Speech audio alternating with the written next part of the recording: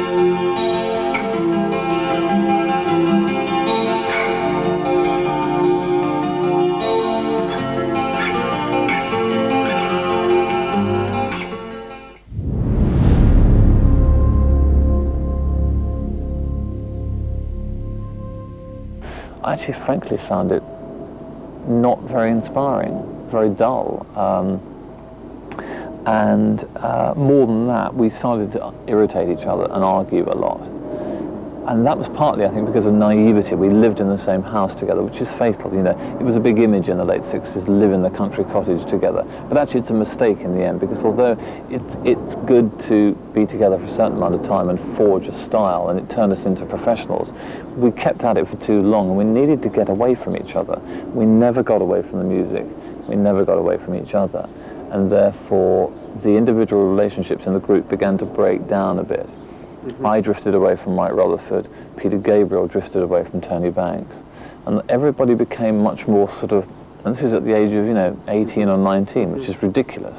Our music was very serious. It wasn't the sort of group where you could go down to your local pub and have a drink and say, ah, forget it, you know, there's no problem. It wasn't like that. Everybody was very sort of, it was all too high pressure, really. Um, and I found that it, it began to affect me. I just began to get very sort of edgy.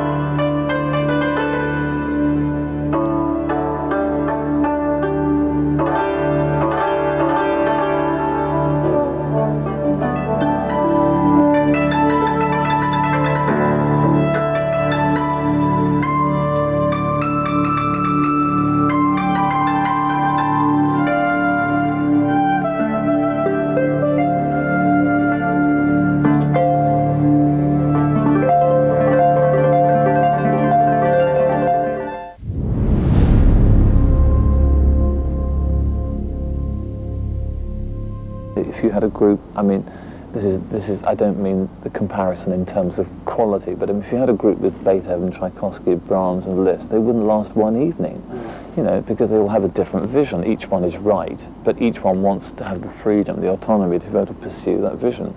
That's what you have to have. And I think that the only way you can survive in a group like that is, is if you get to the point where everybody has their own kind of area cut out neatly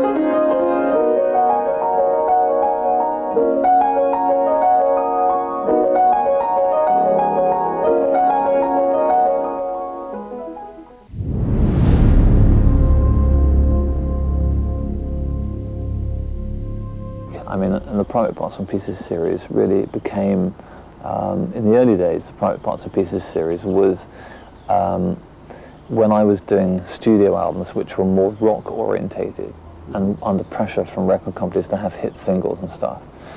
Those albums, uh, the Private Parts and Pieces series was sort of conceived as a kind of opposite to that. You know, home music, acoustic music, quite loose, nice atmosphere, not trying to be singles, more classical.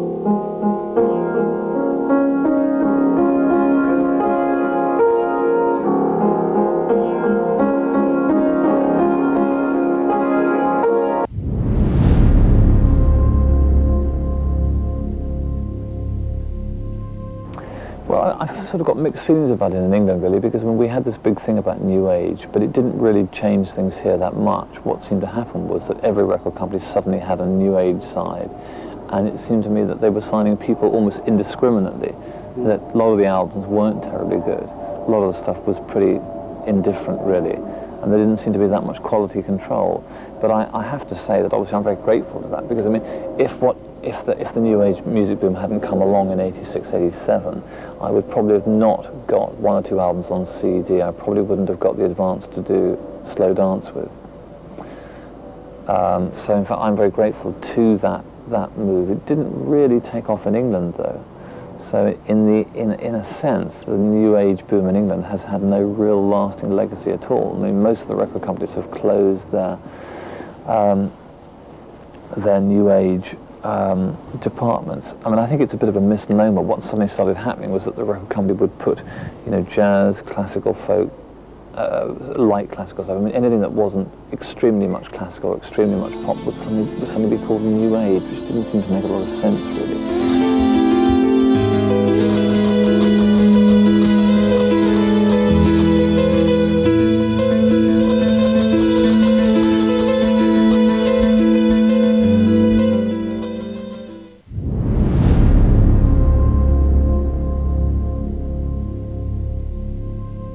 Ambient is rather different. Over here, ambient has a lot of credence, has a lot of credibility.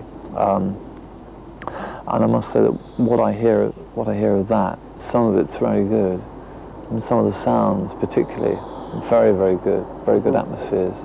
Some of it, the more dance-orientated stuff, I'm not so into because I don't like the. Um, it's very clever, produced for, for clever productions, but a lot of it all sounds, when I say it sounds the same, I, I, just mean that the drum patterns are the same. It's like you have to have the same drum pattern on the more dance-orientated stuff, which is tedious. It's not creative. It's just dull. It's like a, you know, conforming to a party line. But, I mean, some of the more moody ambient stuff is great. Now now that the evening must where she sits by the river, kind winds toss her hair, free like the swifts of the sky. I see her dim through the panes of my tears.